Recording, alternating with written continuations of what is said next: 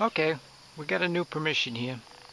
Got an old house here, 1800s probably, right out back somewhere near where the clothesline may have been. I'm thinking it'd be out here somewhere.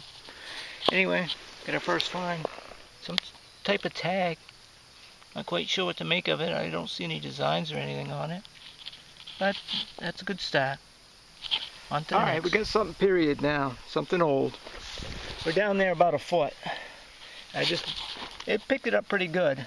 First thing I pulled out was this uh, wagon wheel. I wasn't sure if it was a wagon wheel or something else, but here's the rest of the wagon, toy wagon, and I got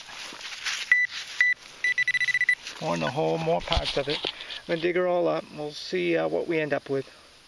But that's cool. How cool is that, huh? Okay, I forgot to mention we're using the AT Pro with the 8.5 by 11. This is as much a relic hunt as it is a coin shoot. And I got all four wheels. One's still attached there. I got the two front ones and the two back ones. How nice is that? Huh? All right, we're on to the next one. Down about four or five inches or so, which has got to be the smallest pocket watch I've ever dug. Thing is tiny. It's about uh, it's about the size of a half dollar. Cool relic though. All right, it's taking a while to get a coin. I figured Coins always love trees, and there used to be a big old tree right here. And our first coin's going to be a Wheatie 41. Hopefully not our last one, but uh, glad to have it. All right, we got two hunts going on here. We got, what you just saw was a morning hunt.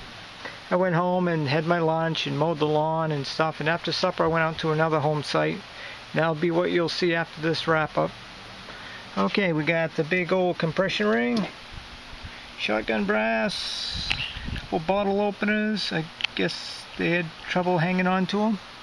This little tag, little uh, horse or cow or whatever that is.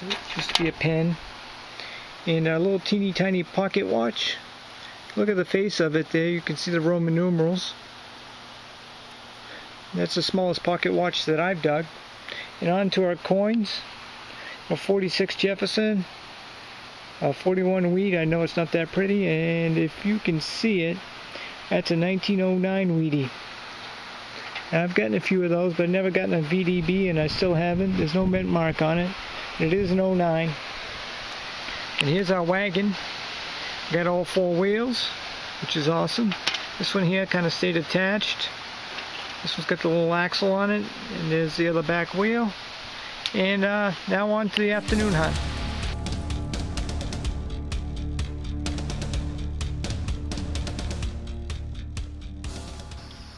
Okay, we're at this old house. We're not really sure how old it is. I know it has a granite foundation, which probably puts it in the 1800s.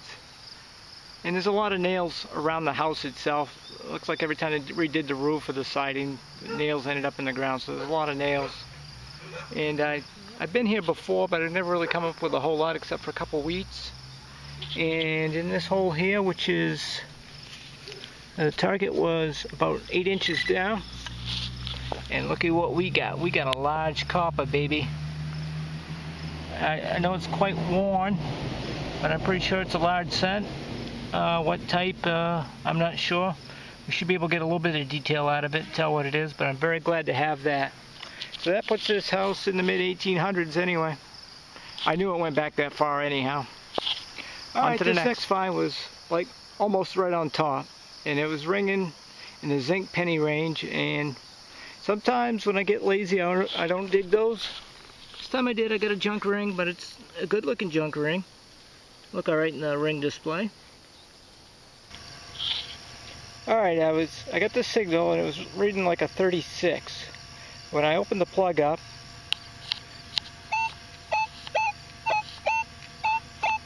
I get some higher numbers, 40s and 42s. It still could be junk, but that just goes to show, open a plug and uh, you get a little more, I kind of like the uh, sounds of that, it's right in the center of the plug. Now we'll see if we can extract it.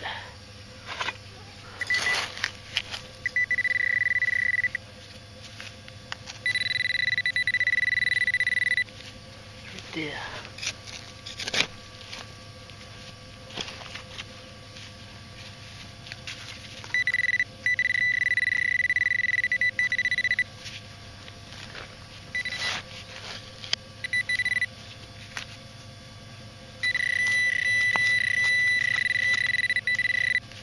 Okay, we're missing it over here.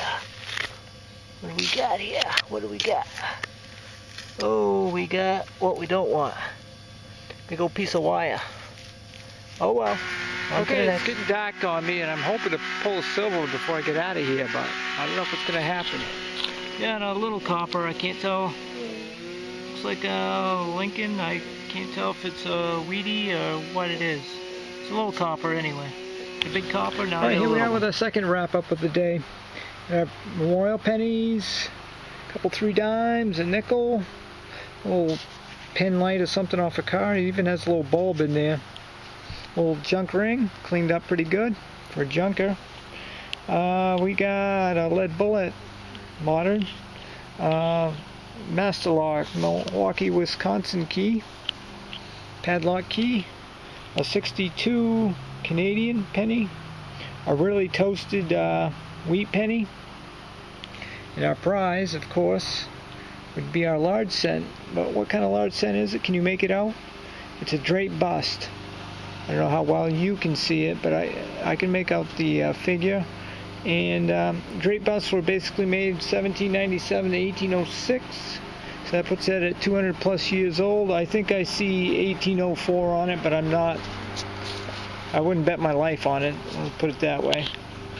And it says, you can see the one cent pretty good with the wreath on the back.